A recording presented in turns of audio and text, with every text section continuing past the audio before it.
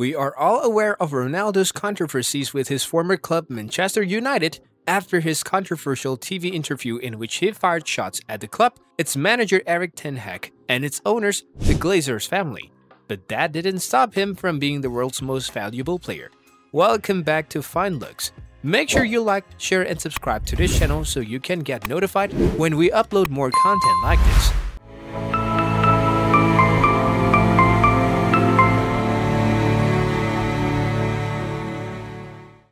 After the World Cup, the Portugal star trained alone at his former club Real Madrid's training facility, preparing to decide on his future. Despite becoming the only player in history to score in five World Cups, Ronaldo had a mixed fortune in the 2022 FIFA World Cup. The number 7 suddenly came on as a second-half replacement in Portugal 1-0 quarterfinal loss to Morocco.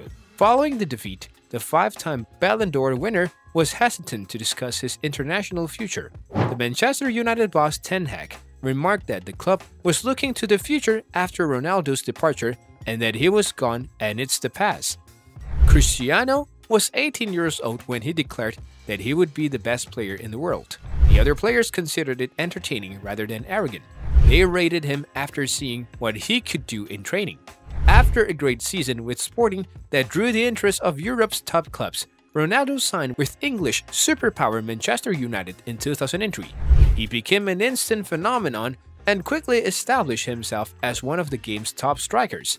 His best season with United was 2007-2008 when he scored 42 league and cup goals and won the Golden Shoe title as Europe's top scorer with 31 league goals.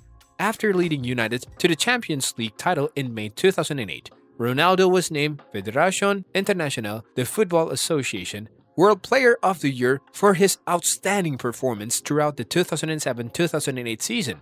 He also led the United to the 2008 Champions League final when they were defeated by FC Barcelona.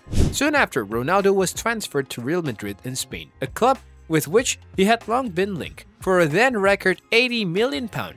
His scoring prowess carried over to his new club, and he scored the most goals in La Liga history during the 2010-2011 season.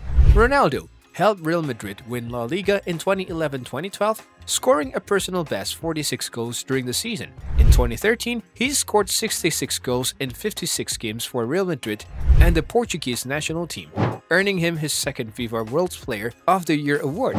In 2014, he scored 52 goals in 43 games and guided Real Madrid to the Champions League triumph, earning him yet another Ballon d'Or honor. In 2014-2015, he led La Liga in scoring with 48 goals. Ronaldo scored his 324th goal for Real Madrid in October 2015, becoming the club's all-time leading scorer. In 2015-2016, he scored 35 La Liga goals and helped Real win a record 11th Champions League title, and he was awarded his fourth career Ballon d'Or in December 2016. In 2016-2017, Ronaldo scored 42 goals for Real Madrid across all competitions and led his club to La Liga and Champions League crowns, earning him his fifth Ballon d'Or honor. In 2017-2018, he scored 44 goals in 44 appearances as Real Madrid won their third Champions League title in a row. In July 2018, he signed a four-year contract with Juventus worth 112 million euro. He ended his Real Madrid career with 311 goals in 292 games. His first season with Juventus, he scored 28 goals, his lowest domestic goal total since his last season with Manchester United, as the powerful club won its eighth consecutive Italian league title. Ronaldo helped Juventus win another league title in the 2019-2020 season, and the club also won the 2020 Supercoppa Italiana and the 2021 Coppa Italia final. He left Juventus and returned to Manchester United many months after the latter match. However, his second stay with the club was a letdown. Ronaldo and Manchester City both suffered, and he revealed growing discontent with the club. His contract was ended by mutual agreement in November 2022. Ronaldo signed for the Saudi Arabian club Al Nassr the following month. Al Nassr is a Saudi Pro League team headquartered in Riyadh. It has the second most league titles in the country's top-flight club football. This is more than just history being made. This was a signing that would not only motivate the club to greater success, but will also inspire our league, our country and future generations of boys and girls to be the best versions of themselves. Ronaldo is a unique footballer and human being whose influence extends far beyond football. Cristiano was joining a club with enormous objectives and competitive club that is among the best in Asia. And he will be welcomed to a country that is making massive development on and off the field, with chances for everyone, but above all, we can't wait to see him in the number 7 shirt of Al Nassr, doing what he does best, scoring goals, winning trophies and bringing joy to fans of the beautiful game. Cristiano Ronaldo topped Forbes World's highest paid soccer players 2021 list, earning 125 million US dollar in total earnings during the previous 12 months. Now he is earning 200 million euros, making the rich list. However, it's nothing new for the renowned football player. After all, he is the world's first team sport athlete to earn more than 1 billion US dollar in career earnings before taxes. But how does one of football's hottest players make a living? Ronaldo knows how to balance the books, from exploiting his social media dominance to signing multi-million dollar deals. Ronaldo reportedly charges up to $1 million for every paid Instagram post, making him the platform's greatest earner.